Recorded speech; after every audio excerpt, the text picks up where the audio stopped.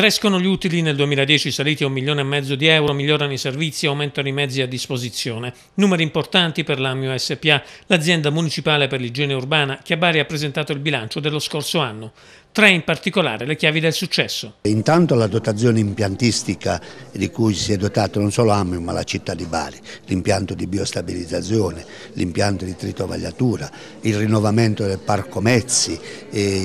Il, il nuovo modello del, di tutto il servizio di spazzamento che passerà eh, che diverrà esecutivo fra qualche, fra qualche, settimana, il potenziamento della raccolta differenziata, l'estensione del porta a porta. Molto è stato fatto ma molto c'è ancora da fare, ha spiegato il presidente Giuseppe Savino, a cominciare dalla raccolta differenziata e dal porta a porta che deve avvicinarsi sempre più agli standard previsti. C'è bisogno che anche la Regione, che pure ci sostiene in questa azione, metta a disposizione le risorse necessarie per ulteriormente sviluppare il sistema di raccolta intensiva del del porta a porta.